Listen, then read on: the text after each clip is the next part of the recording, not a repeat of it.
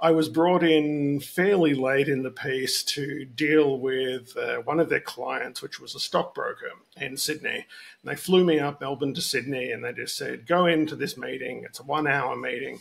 We've been having problems with them for a long time, but we're not going to tell you anything about it because we don't want to uh, prejudice you or anchor you to anything. And I said, okay, that's that's fine. And I went in, and it was a meeting with some fairly senior people, up to and including vice president level. And I said, really sorry to make you explain all of this from the start, but I've deliberately not been told anything. This is a good thing here, though. It means I don't have a dog in this fight, and I have none of the past to protect. So tell me what the problem is. And it turned out that a sale had been made to them and promises made during the sale, which anyone who understood the product involved would know was not a reasonable thing to have promised, right?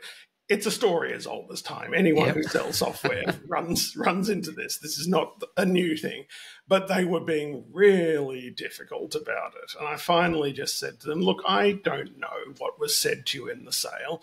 I wasn't part of that. I can't comment on that.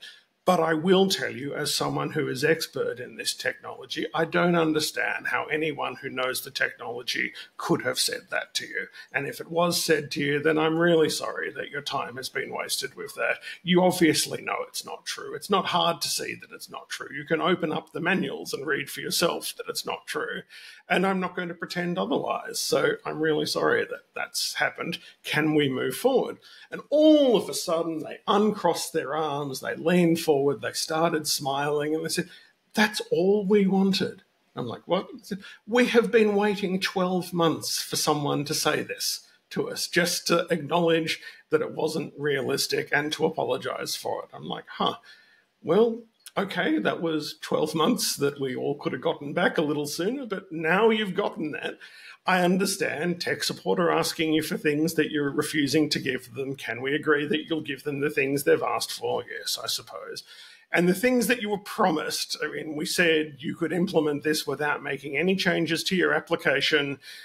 Obviously, that's not quite true, but the changes that you'd have to make are, you know, A, B, C, and D. And isn't it true that each of those are actually in your interests anyway? They'll speed things up, they'll use less space, they'll, you know, be better for this reason and that reason.